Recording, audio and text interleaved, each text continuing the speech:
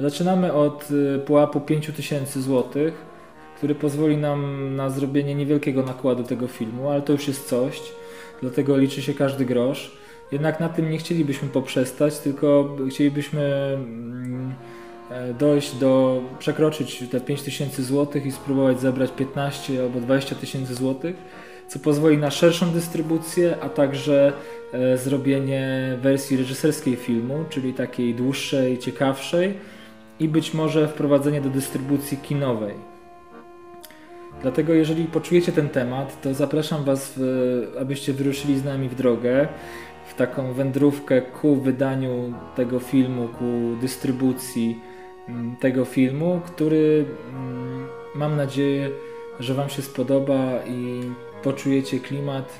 Dlatego, dlatego zwracam się do Was o pomoc, a w nagrodę dostaniecie oczywiście film. Bardzo proszę o wsparcie na Polak Potrafi. Pomóżcie ujrzeć temu filmowi światło dzienne. Inaczej będzie jak powieść napisana do szuflady. Dziękuję.